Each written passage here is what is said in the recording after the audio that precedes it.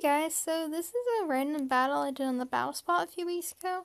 I remember I was actually kind of scared of this guy's team because like, there was some legendaries. I want to say one of them was a Rayquaza, but I'm not sure. So anyways, yeah, I thought I'd just show it, and I'm gonna try to narrate it. I'm no competitive battler, but I don't know. Yeah, enjoy.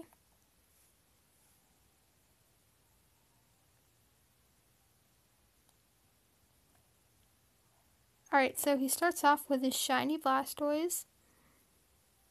And I start out with my Raichu.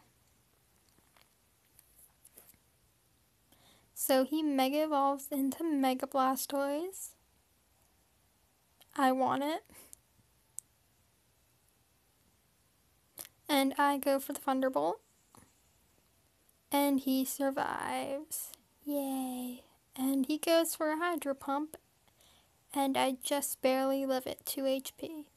And so I'm holding a red card, so he's forced to go back and bring out another Pokemon, which is his shiny Venusaur.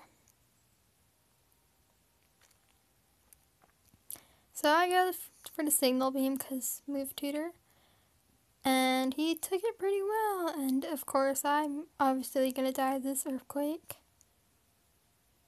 It was a pointless crit too. Yay. So I send out my Flygon, shiny of course. And so I go for the Aerial Ace. But he survived, of course. And of course, I get hit by the Sleep Powder because just my luck. So he withdraws his Venusaur, goes back in the Blastoise. So I'm still asleep. So I decide to switch out. So I bring out my Lopunny, shiny. And he goes for the Ice Beam, and it's a good thing I switched because Flygon would have not been able to take that. And I take that, and it was a crit too, so yay. So I Mega Evolve into Mega Lopunny. Let me just say I love shiny Mega, Mega Lopunny. Love the colors. I go for the Thunder Punch, which knocks out his Blastoise Mega. So he brings out his shiny Greninja. Yeah, his whole team is shiny. And I go for the Sky Uppercut, which easily kills it.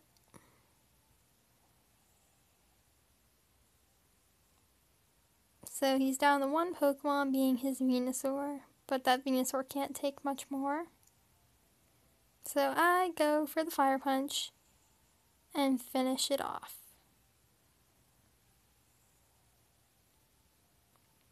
And with that, I won! So yeah, thanks for watching. Bye!